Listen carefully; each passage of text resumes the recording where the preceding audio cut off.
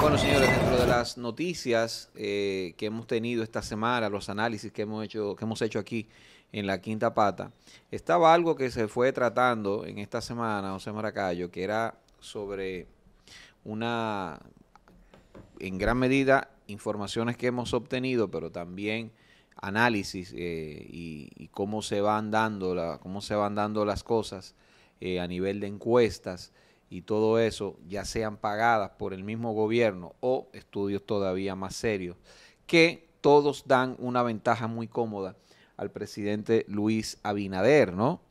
Eh, que se va en primera vuelta. Eso es de lo que se habla, ¿no? Se va en primera vuelta. Lo que uno, lo que, lo que se, lo que uno está pensando es con qué va a ganar. O sea, cuál es la ventaja que va a tener el presidente Luis Abinader.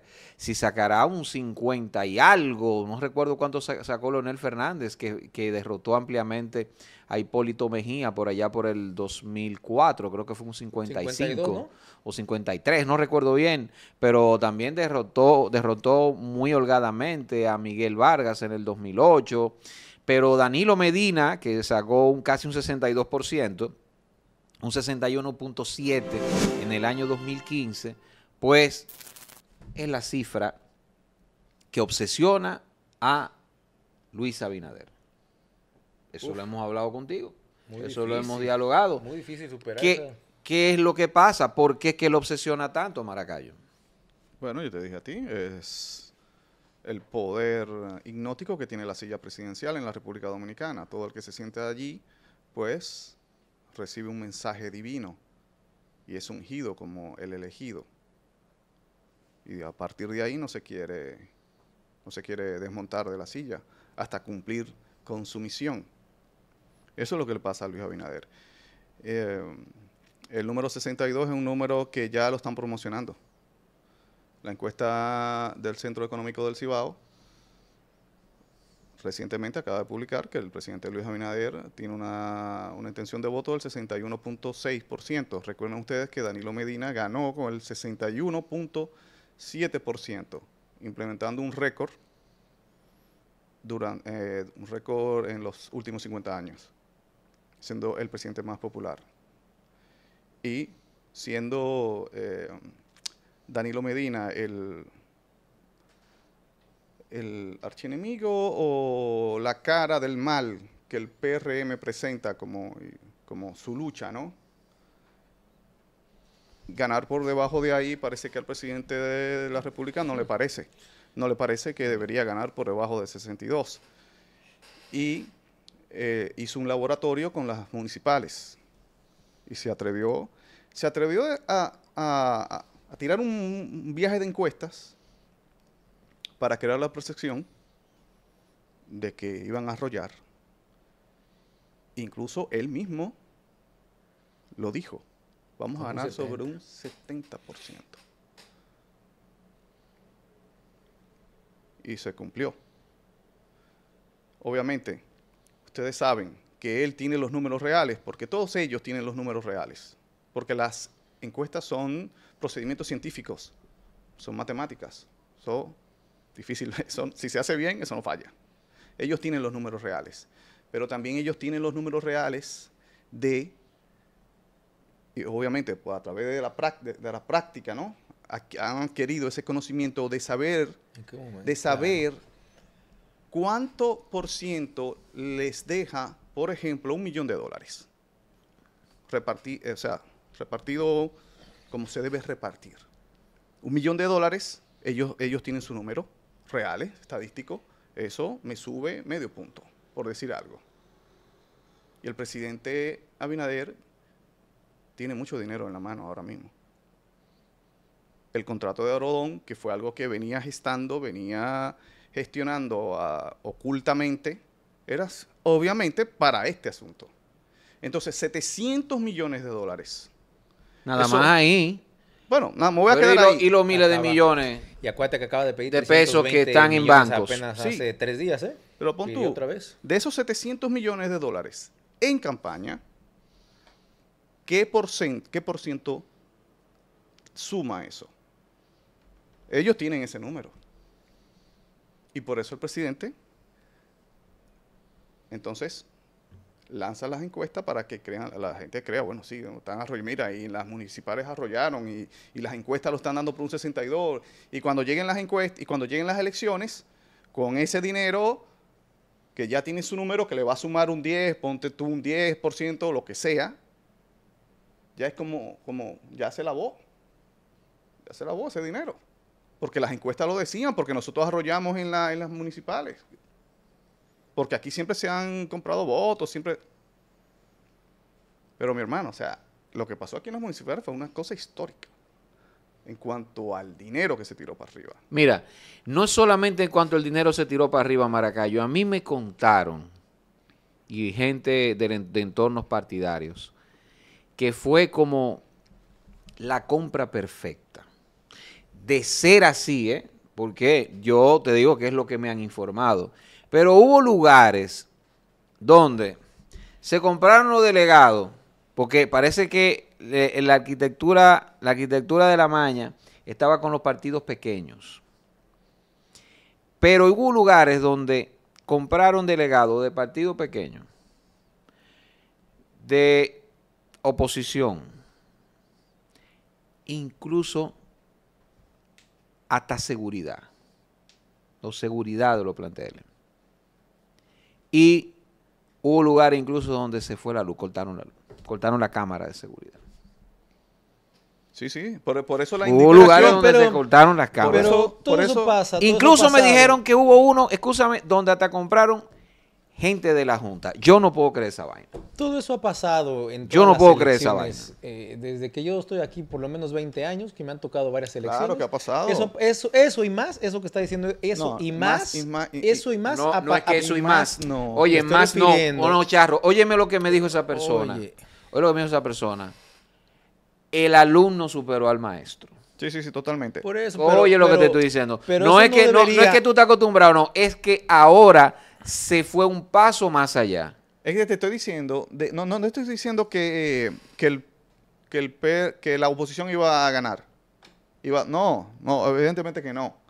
Por el asunto que aquí analizamos y que Gabriel Cordero muy bien nos trajo a colación, el asunto de eh, son unos ladrones. O sea, robaron más. eh, la gente tiene eso todavía y, y eso pesa mucho.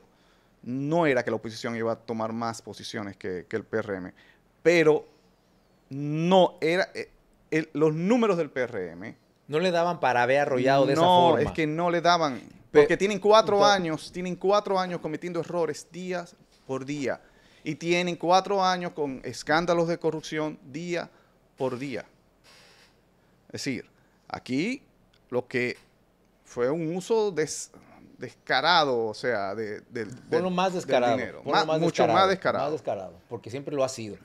Pero eh, en ese sentido, yo creo que lo, que lo que menos de alguna manera debería de preocupar, digamos, o- oye lo que voy a decir primero, ¿eh? sería eso. ¿Por qué? Porque la misma gente sabe, o sea, el pueblo dominicano sabe de eso. Y sin embargo no se para, no se para y vota.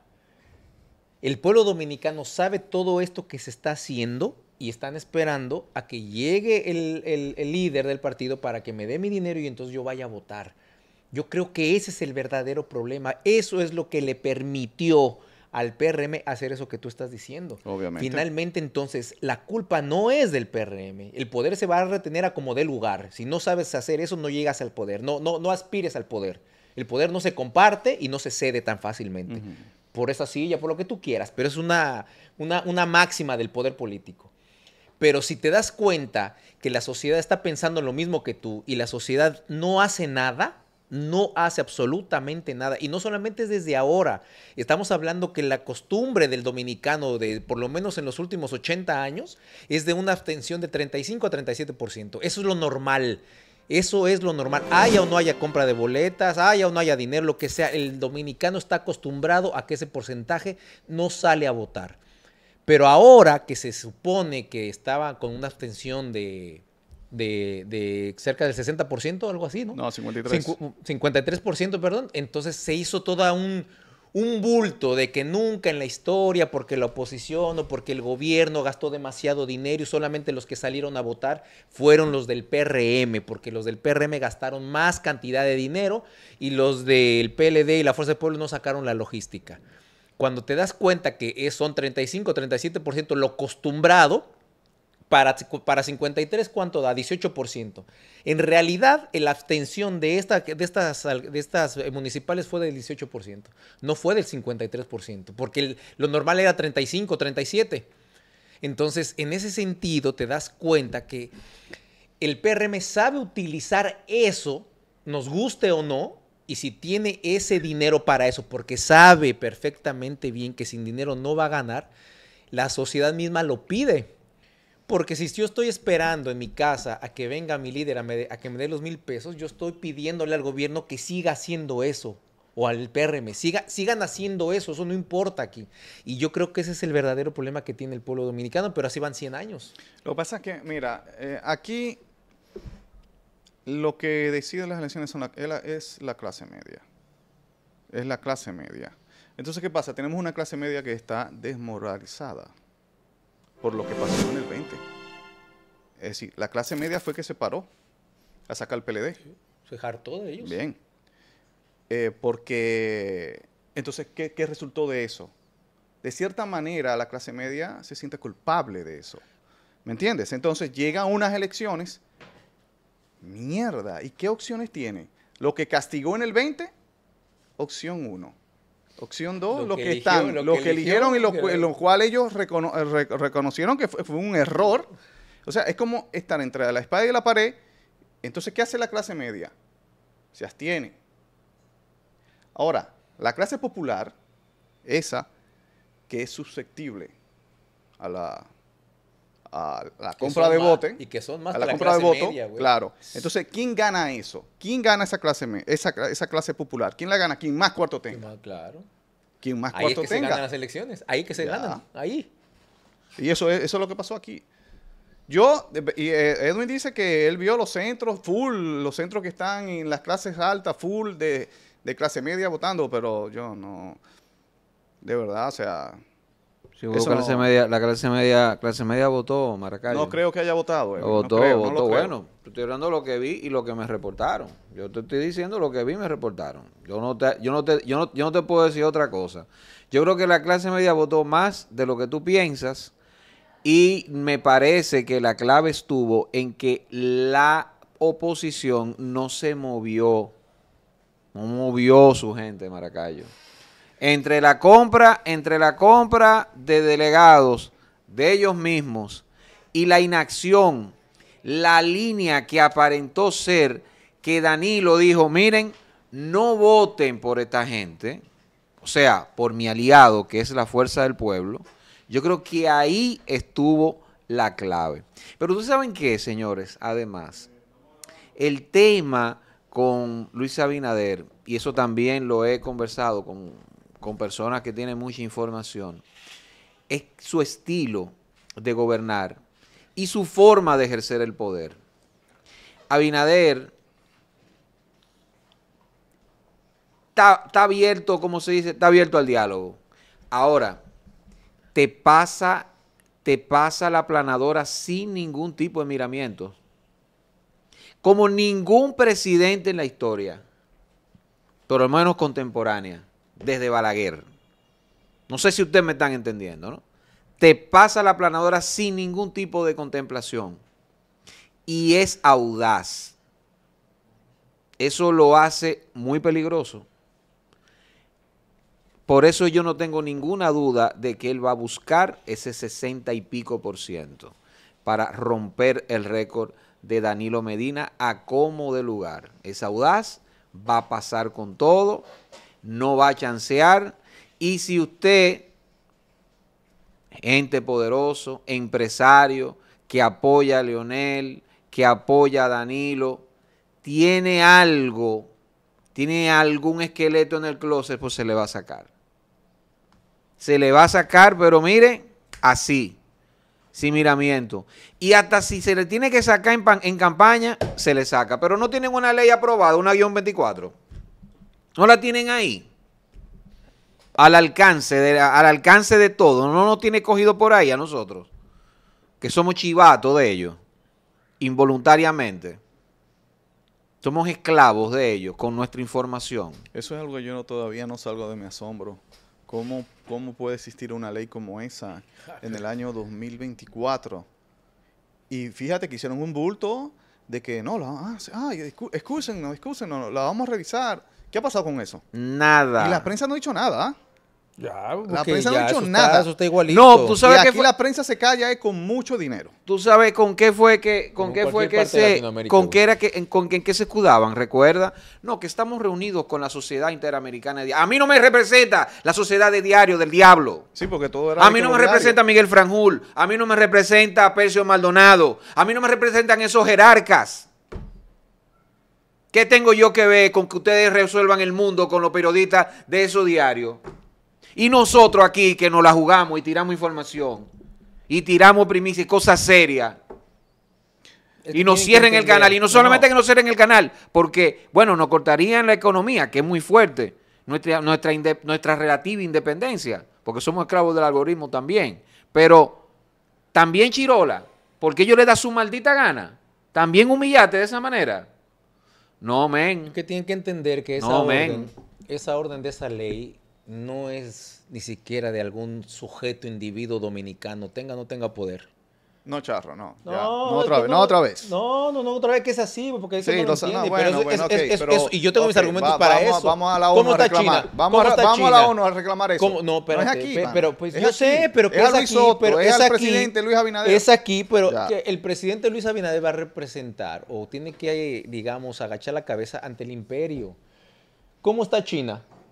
Aquí se están quejando de, de una ley, ¿verdad? A China lo tienen vigilado las 24 horas, los 365 días del año. Los chinos están siendo ya un número. Ya no tienen nombre los chinos. Los chinos tienen millones de cámaras en Shanghái, por ejemplo, donde te dicen dónde estás, dónde escupiste, dónde tiraste basura, a dónde fuiste a comer, de- en- con qué tarjeta pagaste. A mí no me importa etcétera, eso. etcétera. En. China no me importa Pero lo que tanto. te quiero Y es un decir, esta- lo que es un- esta- es un estado- que te esto- quiero decir que es un orden mundial. Es un socialismo orden- de mercado que es está funcionando. Es un orden mundial. Si tengo que dar parte de mi libertad para que La funcione, guerra- está bien. A la mí, a mí Abinader no me da La nada. guerra de entre Estados Unidos y Porque China, yo- Rusia, China y Estados Unidos tienen que afectar a todo lo que sucede en Latinoamérica, porque es así. No es a lo que yo esté de acuerdo, pero el orden mundial es ese. Y el imperio se impone y la orden que tiene el imperio, la estrategia que tiene el imperio es dominar a todos los integrantes de América Latina. Cada individuo que viva en un país latinoamericano, tenemos que saber qué come, qué viste, qué no viste, a dónde visita, a dónde no, etcétera, etcétera, porque es la única forma en que nos van a poder dominar para poder ganar la guerra. De otra forma no va a ser así. Por eso China tiene bien, controlado por la todo eso, güey. gracias No, por la pero información. lo que te quiero Gracias decir es por porque información. le ponen Pero- la culpa a alguien aquí, pero, pero no es así. Luis Abinader- a Luis ¿y ¿Qué va a hacer Luis Abinader es que Abinader tenemos- imperio? ¿Qué va a hacer? Ah, no, no lo voy a hacer. No lo, porque usted me lo dice. No lo voy a hacer. Lo quitan fácilmente. Mañana lo quitan. Así de simple. Así simple. Lo quitan. Lo quitan mañana. Mañana en las elecciones no gana Abinader. Ah, pues punto. Así bueno. como le hicieron a Danilo Medina. Desmóntate de ahí que tú no vas. Y, y Danilo Medina estaba seguro de que él iba. Una sola llamada. No vas. Se acabó el asunto porque es el imperio. Tú no te sea, puedes no- poner no- al tú por tú con el imperio. Aquí está el charro bachatero quitándole todo tipo de responsabilidad No, sobre esa ley no, 1-24 no, de este no, no, gobierno. Pero, ¿y qué tú vas a ¿Qué- hacer ante el imperio? Yo No estoy defendiendo el imperio. ¿Qué yo no harías soy tú? ¿Qué harías tú? imperialista. ¿Qué harías No, tú? ¿Qué harías es que no hay forma, güey. Es que Pero, Charro, eso- primero eso yo, no, lo- yo no entro a la política. Primero yo no entro a la política. Pero Charro, eso, no eso lo dije yo. El propio eso, pre- Charro, eso, yo, eso lo dije yo aquí. Esa es una de las razones. Esa es una de las razones. Pero no lo podemos esgrimir como el eje de todo. No lo podemos esgrimir como el eje de todo. Porque yo te voy a decir una cosa. A mí no me simpatizan muchas acciones de Nayib, de Nayib Bukele. Pero él, él va a dejar pasar esa ley en su país. Es una excusa, es una excusa. Él no le va a dejar pasar esa ley en su país y El Salvador. ¿Y qué país depende más de Estados Unidos que El Salvador en su economía? todo, todo, sí, ¿Qué hizo pero- Danilo Medina pero- con los, con los Pues chinos? ¿Qué hizo Danilo Medina con los chinos?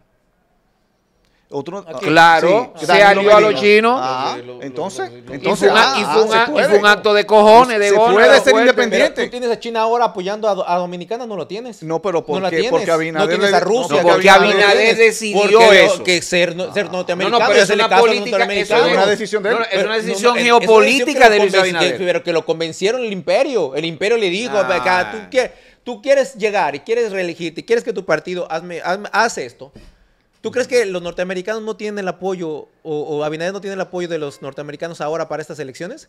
Ahora claro no. que las tiene, Bueno, las no, va a tener. No lo, sé, no lo sabemos. Y, y quieren al PRM más tiempo. Y Hipólito Mejía y Abinader no están trabajando para, para cuatro años más, están trabajando para 16 o 20 años más como partido hegemónico. Lo que iba a ser el PLD, esa maquinaria perfecta que en el 2015 se hablaba, la maquinaria perfecta electoral, y eso era verdad, venía trabajando de esa forma. Y miren, en el 20 se fue porque los norteamericanos dijeron, ya no. Y se fue. Charro, hay que ver. Charro, hay que ver todo el bosque, no vea nada más un árbol que se ve bonito. Yo creo que eso no es, No, pero yo creo que eso no imagínate, es si justo. la gente se pone con el discurso tuyo, no, la culpa de los gringos. No. Claro, la culpa pero- imperio. la culpa de Aquí los gringos, 50 Abinader no puede años hacer nada. a los gringos. Pe- Pero, y- pero todo lo han hecho los gringos aquí. ¿Quién Está puso a Balaguer? ¿Quién bien, puso a Balaguer? está bien, ¿Quién quitó a Balaguer? O sea, entonces no puedes Pues, obviar solamente, o como dice Edwin, ver esa parte del bosque. La realidad es que este país ha sido dominado por cien- más de 100 años por los norteamericanos. Pero vamos Así. a votar por presidentes ¿Y qué y que, qué vas a hacer? que tengan una actitud mucho más independiente. Es Claro lo que, que sí. podemos hacer. Sí, pero ¿y, y- O- y cómo o- va, ¿y cómo vas a tener un... El que intentó hacer eso, Juan Bosch, lo tumbaron a los siete meses de que llegó porque los norteamericanos dijeron que no.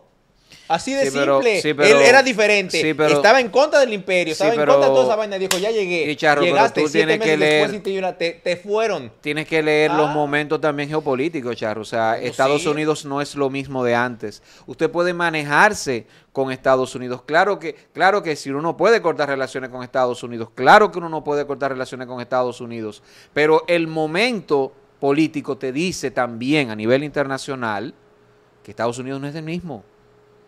Y que hay un bloque multipolar que se ha armado en el mundo. Por eso. Que no es que se está armando, es que se ha armado. Bueno, por eso te Con estoy diciendo, razón, por eso te estoy diciendo que aunque sean designios de Estados Unidos tener esa ley, nosotros no tenemos que aceptar esa vaina y un presidente no tiene que aceptarlo. Porque te voy a decir una cosa, si es totalmente cierto que es Estados Unidos que lo está haciendo, que yo también lo puedo creer, eso al presidente le funciona ahora, pero cuando él se vaya del poder, porque indefectiblemente se va a ir del poder, porque eso va a pasar, y, y- y puede que sea en 2028 que se vaya, No, Esta pero- ley- lo- lo- ok. digo yo, puede que se vaya en 2028, No, porque uno ni su sabe. partido Se la- se queda. puede que se quede Edwin ahora. Esa sería. Ah, la- no, no, no, no, yo estoy seguro de que va a ganar. Ah, ok. man. De eso yo lo doy, lo- para mí casi por default.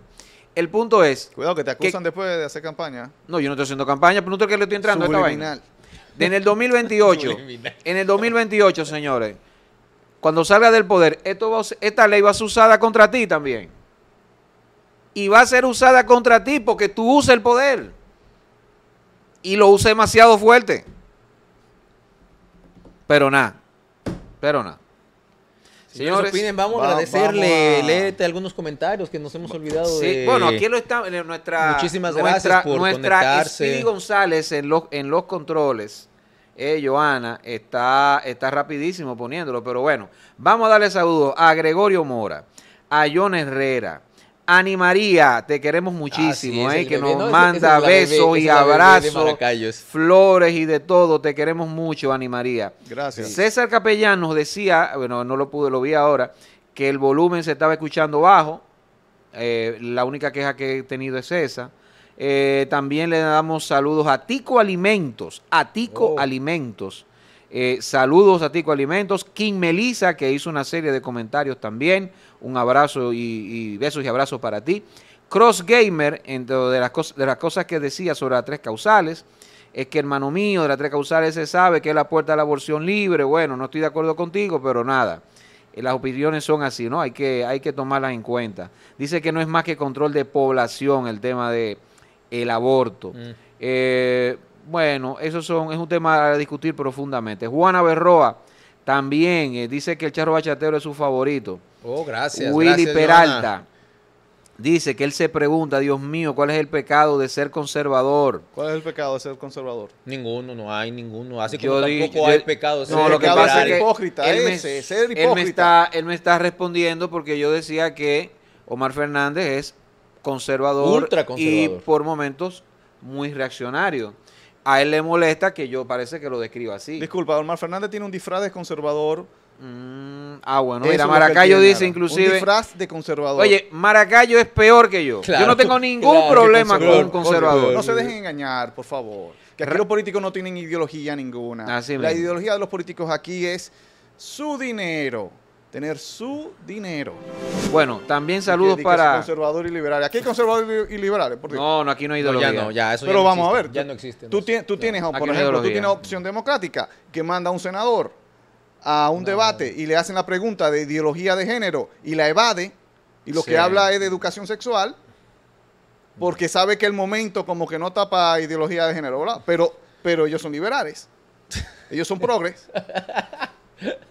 Entonces aquí, aquí, aquí no hay ideología, no, aquí no lo que hay- ni hipocresía. mucho, sí, Aquí no hay un Milei ni que se, aquí no hay un Milei que se para a decir todo, eh, todo lo que piensa de su ideología. No, no ni para lo nada. habrá, ni lo habrá, ni lo habrá, güey. Ni los propios partidos tienen ideología aquí. Rafael Antonio García, del pueblo dominicano, este es el momento de que en las elecciones se limpie el Congreso completo, más la Cámara de Diputados. Bueno, está complicado, Rafael.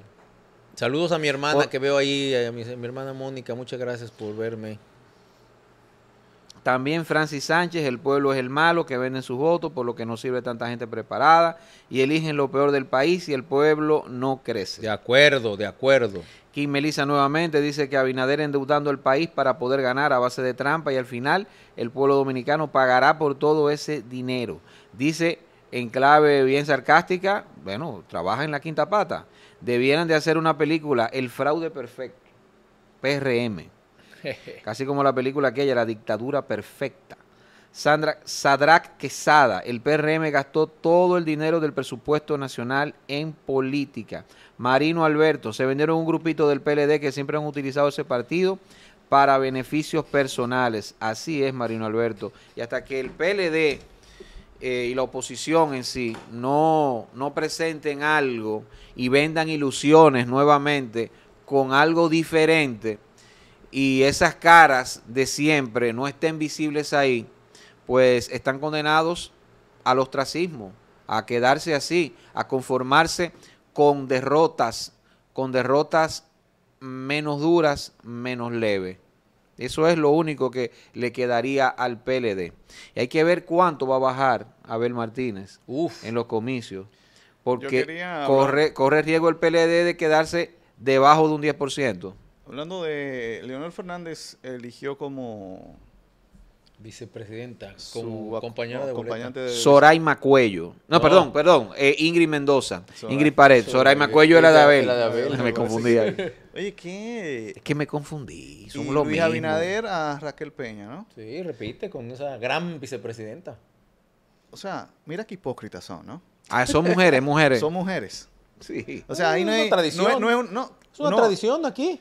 El No. único, el único fue, el único de... No, en- en- eso no es ninguna tradición. que tradición, tradición. charro. tradición. No El diga único- eso. El, el único tradición. es, una tradición. Dime, viejo. dime un acompañante de boleta. Eh, Alburquerque creo que nada más fue. No, Pero ven acá, charro. todos, todos Dime. Jaime David Dime. Fernández No, Mirabal y ve para atrás. Mira la historia, viejo, ¿qué pasó ahí? la, la primera creo que fue... Milagros, Milagros Ortiz Bosch. Milagros Ortiz Eh, Bosch fue dos veces 2000. Margarita. Eh, eh, mm, Peña ahora, que va a repetir. Pero el país Bien. tiene más de, más de 100 años de historia, Charro. Tú estás hablando de los últimos 25 años. Los últimos 20 años, sí. Pero fíjate que no... Al elegir una mujer, o sea, eligen una mujer para, ¿verdad? De que, ah, engañar a... Para- Mira, somos inclusivos. Exacto. Mentira, Mentira de género mentira. y la vaina. eh. Porque vamos a ver, o sea, ¿qué, la, ¿qué oportunidad le dieron a, a la compañera de boleta ahora de Lionel dentro del partido? Yo no, ¿qué oportunidad? ¿Qué, qué, qué oportunidad de trabajo, de, de realmente de un puesto relevante, de que la compañera tuviese en el campo de acción y poder de decisión? No, nada. ¿Cuándo? Ninguna. Ninguna, ninguna. La escogen ahora por un asunto de conveniente, de que ah, estamos en los tiempos de que hay que ser inclusivo, de que... eh, coño.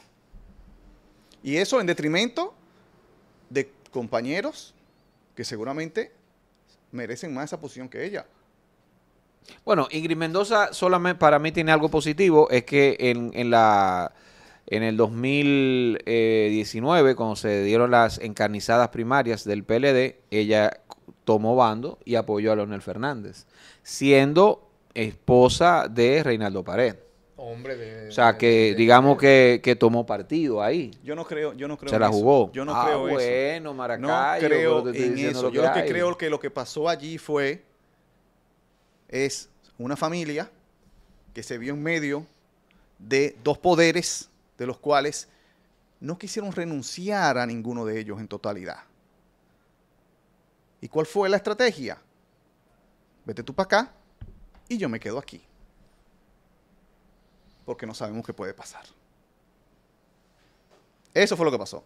Así que olvídate. ya, ese cuento de que, bueno, yo- ella siendo la esposa de, de fulano, mira, y su esposo que estaba con Danilo, y ella siendo la esposa se fue con Leonel. Oye, ¿qué, qué familia como tan eh, liberal, como tan... No, No, no, es que era- hermano. Los No, Pared yo Pérez no- en ese yo no- momento, yo no- los Pared Pérez eran la familia más poderosa de este país. Mira, mira, es, eh, Yo voy a decir por qué, te voy a decir por qué. no estamos hablando de que era la, po- Sí, la pero- familia más pero poderosa. Estoy hablando, Estamos hablando... estoy hablando de que al ser la familia más poderosa Ajá. políticamente, ¿Y por qué obviamente no tiene que escogió un repartir, bando? tiene que rep- por- eh, precisamente por eso, porque tiene que repartir sus fichas. Pero ya lo dije, Gente, Charlo. porque tiene que hacerlo, por eso llegó Bueno, a ser eso por, fue lo que por eso, por, eh, por eso lo que estoy diciendo, pero eso lo, Ah, pero eso pensé fue que me ibas a contradecir. No, no, no, pero lo que te no, tú me estás diciendo que Yo, creo- diciendo lo veo diferente. Eso, porque yo lo veo diferente, ¿Cómo tú lo Maracayo. Yo, yo pienso que sencillamente ella siguió una, una, una directriz de su difunto esposo. Él le dijo, dale para allá, tú te llevas bien con el leonelismo, dale para allá, porque él estaba aquí ya con el danilismo, porque no le dieron lo que él quería. Pero, pero él, Y pero tengo la información, Sí, mira, no, la él se- candidatura pero él- Él, se quedó con, tengo, con Danilo. tengo la información. Él no sí. se fue del PLD. no, no, se no se fue fue. del PLD. No se fue del te Y tengo o la información de que aceptó en esta ocasión Ingrid Mendoza porque en la primera, en la elección pasada, le había dicho que no a Lionel. En la elección pasada.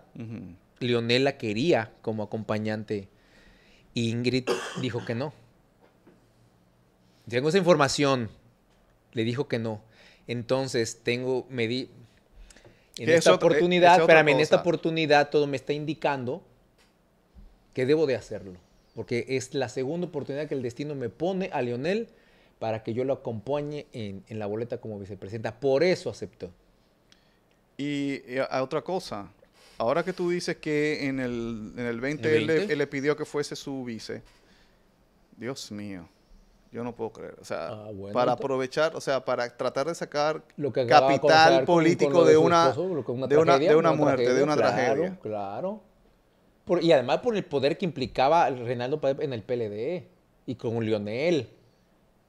O sea, por eso te digo que esa familia, si, si, si hubiera seguido todo como iba, yo en algún momento dije que Reinaldo podía ser un hombre presidenciable. Reinaldo Esa- no sí, tenía, por Dios, por oye, Dios, por Dios, ¿qué? por Dios, por Dios, oye, vamos, vamos a ver. Tenía, tenía, tenía nada. Era, era poderoso No, mira, esa familia. Reinaldo tenía una tasa de rechazo No. extremadamente grande en la población dominicana.